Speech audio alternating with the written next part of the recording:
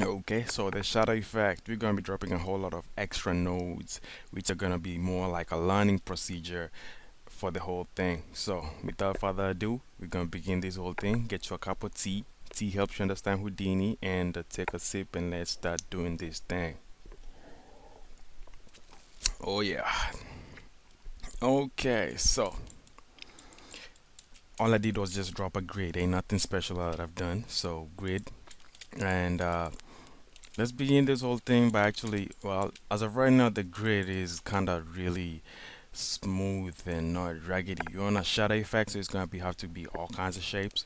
So let's begin this whole thing by actually splitting this whole this whole thing up to different shapes. And I'm going to increase the divisions are a little bit higher to get a more pieces and more shards. So then we're gonna drop in a VOP SOP under the manipulate um, layer over there or you can drop the miscellaneous uh, VOP SOP same thing it's all the same node. Drop it in and let's start doing this whole thing. Now you have the global variables over here which just bring all the data into uh, the VOP uh, world over here. And over here in the position what we're gonna do is actually break down the position into three attribute uh, three float values by dropping in a vector to float so pretty much what you do now with this is split up the values into three values of X, Y, and Z. And you guys have to plug back in. So I'm gonna just go ahead and implement that while I'm at it. So I float to vector to bring the data back in.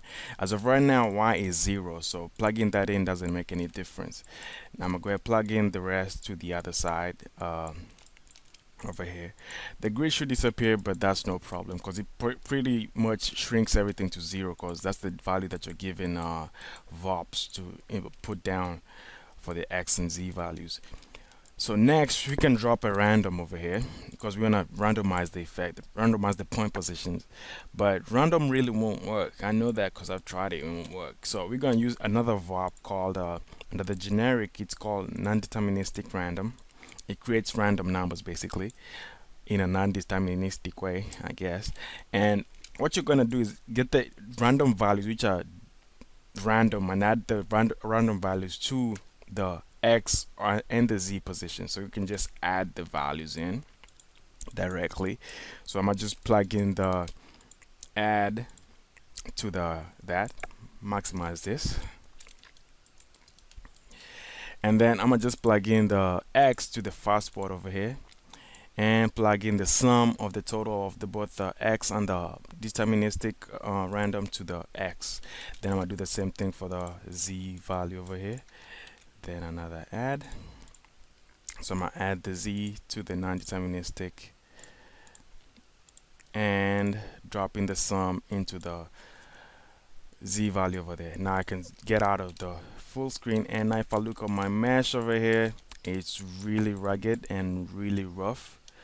So what I need to do is actually reduce the effect being created by the non-deterministic. And for one you're kind of making a redundancy out of this. So I'm going to delete one of the non-deterministics over here. And um, what I'm gonna go ahead and do is actually use the same deterministic right here on the bottom. So pretty much it's creating different values. Well it's not different values. Well same values but I'm plugging it onto two different nodes. What I'm gonna go ahead and, need and do you can actually do it like this and this is what I meant by saying you're gonna be dropping a whole lot of nodes. You can drop in a multiplier right in between here and plug in a constant over here. And the constant pretty much will uh, multiply the number over there or you can actually drop in a workflow multiply constant which is actually just one node and actually I dropped it on the wrong spot. So I can shake this off and just plug it in right here where I need it on the multiply constant. Now I'm going to zoom out again and now on my constant over here I want to multiply this by a lower number. So now if you look on the screen over here I can actually move this to a lower value and get a different result. And now I got a multiply constant which is a same thing that this one is doing by adding a multiply and the uh, input constant. Uh, so this one does the same thing also. So pretty much as you can see now we're getting the same effect we're getting the effect like we would like. So it's all you know raggedy all the mesh is like jumbled up. And just to sum up what I just put out. This these two particular nodes as of right now. These two the multiply and the and the constant node over here I do the same thing exactly like this one only this is one node and this is two nodes. So if you don't don't want as much clutter you can delete these two and put a, a multiply constant in between that so but it all works the same way essentially to get the effective way that you would like over here. Now I kind of like the way it is but the edges are kind of rugged so I'm gonna go ahead and drop in a group uh, node right before this. I'm gonna group the points and that way so points and I'm gonna name the group uh, edges. And it's not gonna be by number it's gonna be a, by a bounding box. It's just simple as that so I'm gonna just take the bounding box to the very edges. And I'm gonna just use the group over here to work on that in VOP so I have a smooth um, edges on the side over there. And once your mesh is done you got a clean mesh nothing messed up. Next step will be dropping in uh, divide. So I divide under the polygon section over here. So I divide and pretty much what you want to do with the divide is not really divide the mesh but compute dual. That creates little shards or little shapes that are actually kind of cool like we would like. More like a mosaic you know one of those church building kind of things that you would get usually. So hopefully I'm going too fast for you but we got a whole lot of nodes to drop so let's please try catch up. And uh, well now that we got that particular part set up I'm gonna go ahead drop something. Okay so what I just did as I said it's gonna be a whole lot of extra nodes which are not gonna be necessary. So what all all I did was drop in an add sop with one single point at the very middle. No settings changed nothing just clicked on the checkbox drop the color put the color to black. Drop an attribute transfer nothing touched yet and the color over here nothing touched it's still white. Now what I, am gonna go to the attribute transfer over here. And if I increase the reduce the uh, distance threshold and uh, blend with you can play with this basically. If you look and I'm gonna go ahead and press the D key on the keyboard and uh, under the miscellaneous I'm gonna change the specular highlights to off. I'm gonna, I kind of don't want to see all the reflection.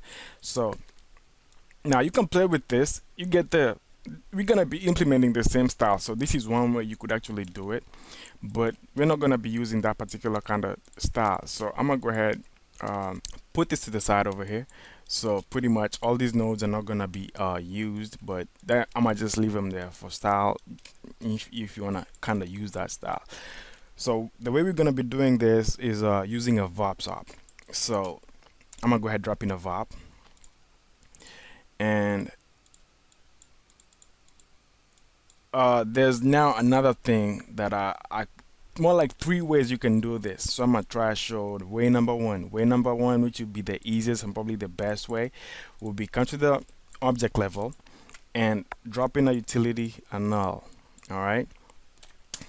Name it as you would like. I just name mine center point. Then all you can do now is just because we're lazy and don't feel like typing you can come on the translate for the null right click on it and say copy parameter now go back to the shot where the grid is.